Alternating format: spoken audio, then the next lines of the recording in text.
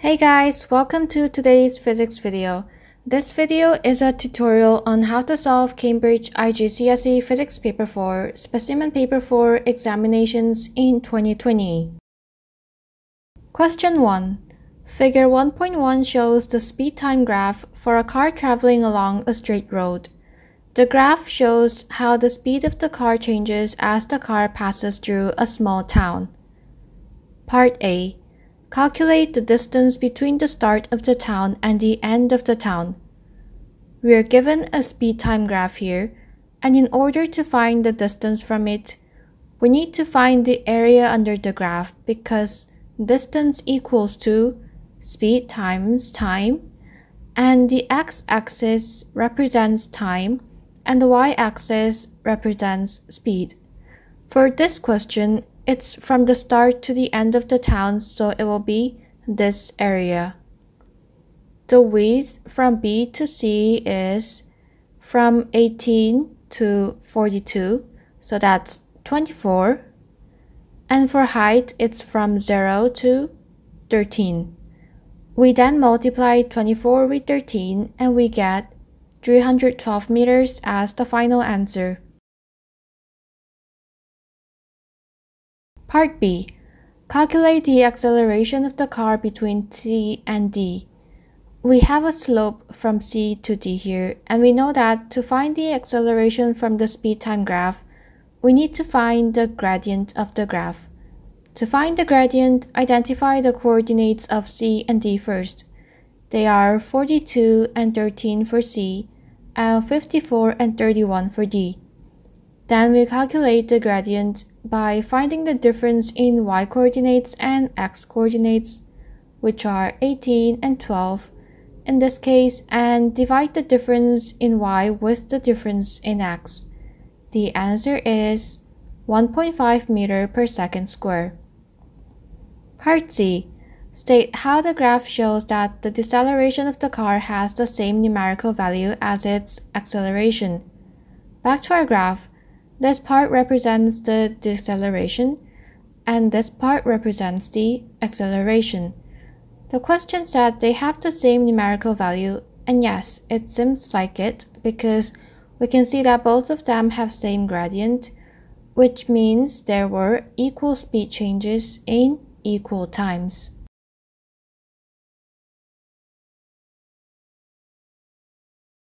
Question 2. Figure 2.1 shows a conveyor belt transporting a package to a raised platform. The belt is driven by a motor. The mass of the package is 36 kilograms.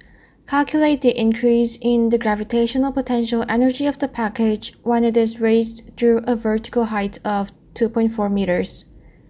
Alright, we need to find the GPE, so let's use the formula. GPE equals to mgh. The mass is given here, 36 kilograms. G is the acceleration of free fall, 10 meter per second square, and h, the height is 2.4 meters. So it's 36 times 10 times 2.4 giving 864 joules as the answer.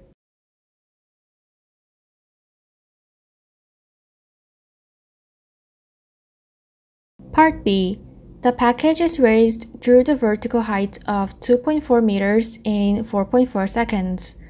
Calculate the power needed to raise the package.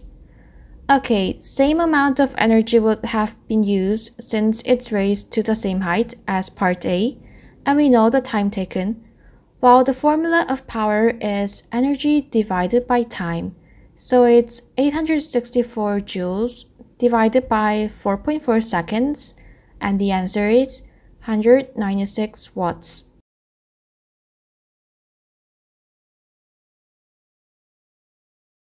Part C. The electric power supplied to motor is much greater than the answer to Part B. Explain how the principle of conservation of energy applies to this system.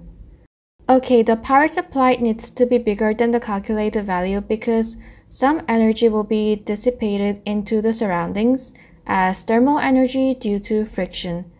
If we were to make connection with the conservation of energy, we need to include that the initial energy equals to the final energy, so energy is not lost, but some are converted to heat in the process. Part D. Assume that the power available to raise packages is constant. A package of mass greater than 36 kilograms is raised through the same height. Suggest and explain the effect of this increase in mass on the operation of the conveyor belt. The question is asking what will happen if the mass is increased when the power is constant. Well, since the mass is increased, the gravitational potential energy needed will be increased. Since energy equals to power divided by time, and power stays constant while energy is increased, time will be increased. The final effect will be time taken longer to transport the package.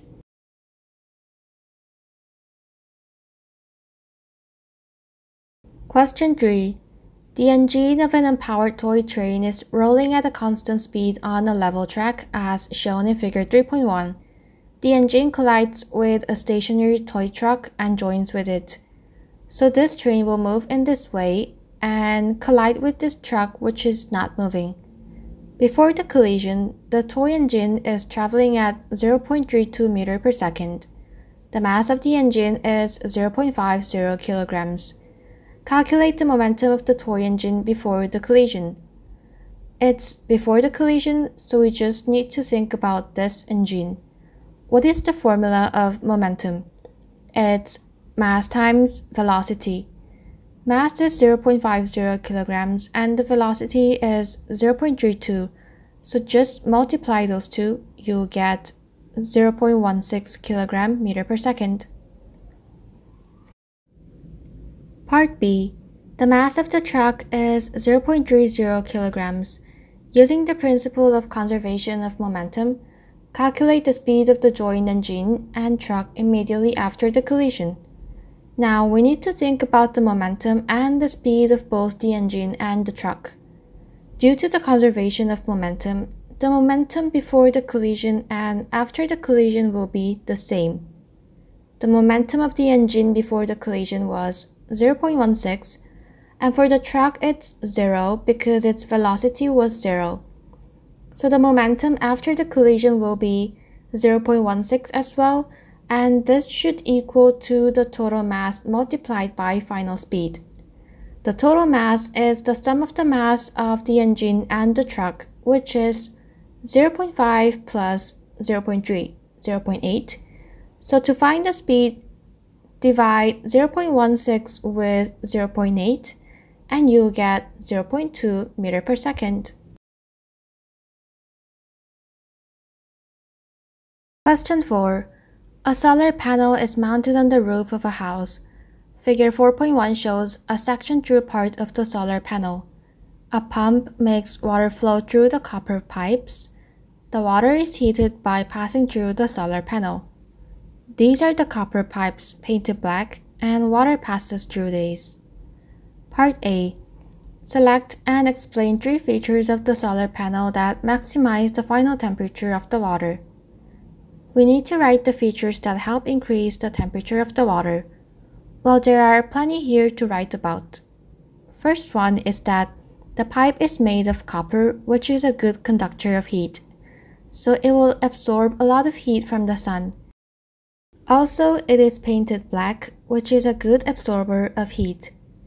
Then there is the insulating material which prevents heat loss and the glass of air will reduce the warm air being blown away and make use of it.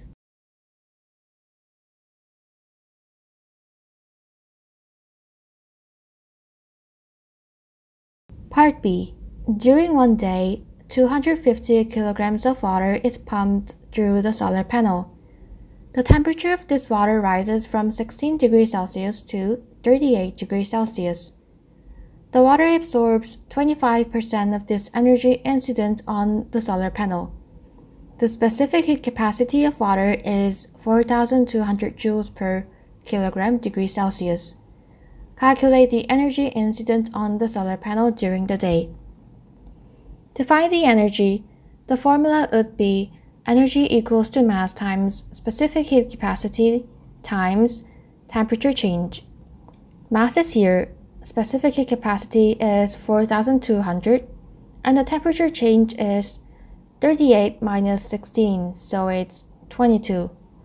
We get 2.31 times 10 to the power of 7. This is not the final answer because it said the water absorbs 25% of the energy, so the energy we just calculated is only 25% of the total energy. Therefore, to calculate the initial energy incident on the solar panel, we'll need to divide it by 25% and get 9.24 times 10 to the power of 7. Part C. The solar panel in figure 4.1 is designed to heat water. A person is deciding whether to install solar panels on her house. Liz then explained three pieces of information she needs to consider in order to make her decision. So before she installs the solar panels, she'll need to first consider which direction the roof faces in order to get the most amount of sunlight. It should be facing the sun to absorb as much heat as possible. Then she'll also need to think about how much energy she'll need to make hot water. How many people are using them? How often is it going to be used? This is to estimate the required energy output.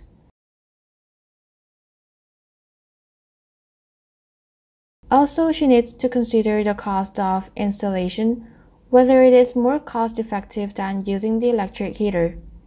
This should be viewed in both short term and long term perspectives.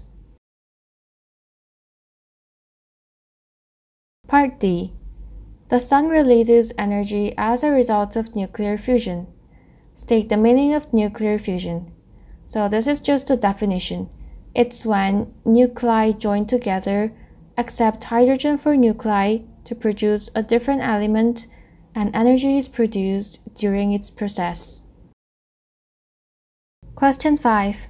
Figure 5.1 shows a gas contained in a cylinder enclosed by a piston. At first, the length of cylinder containing the gas is 100 cm. The pressure of the gas shown by the pressure gauge is 300 kilopascal. The area of cross section of the cylinder is 0.12 meter square. Part A. Describe the motion of the molecules of the gas. How do the gas particles move? They move in random directions, they have high speeds, and will collide with each other and with walls. Next, use the idea of momentum to explain how the molecules exert a force on the walls of the cylinder.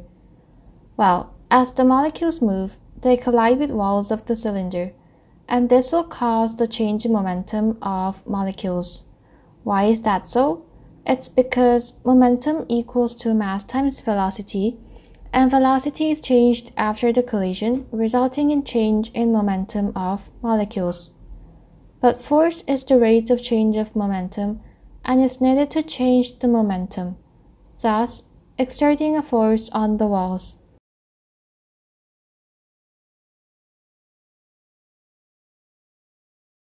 Part B. The piston is moved so that the new length of cylinder occupied by the gas is 40 cm. The temperature of the gas is unchanged. Calculate the new pressure of the gas. Originally, the length was 100 cm and now it's 40 cm. The initial pressure and the area of cross section are given in the question. So we need to use the formula P1V1 equals to P2V2 meaning as long as the temperature is constant, the product of pressure and volume will remain constant.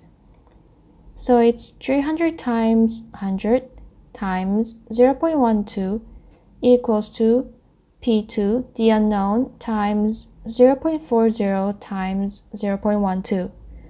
We want to find P2, so the calculation goes like this. And the answer is 750 kilopascal. Next, explain in terms of the behavior of the molecules why the pressure has changed. This question is asking how the movement of molecules has changed the pressure. While as the volume decreased, the molecules started to collide with walls more often. As a result, there was greater force exerted per unit area, increasing the pressure.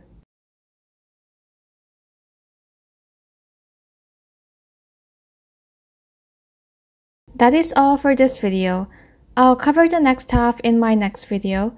Hope this was helpful. Thank you for watching. Please subscribe to my channel for more videos like this.